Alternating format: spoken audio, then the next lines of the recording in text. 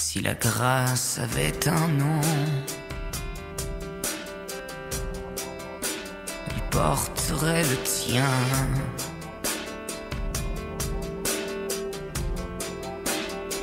C'est écrit dans nos yeux. C'est écrit dans nos mains.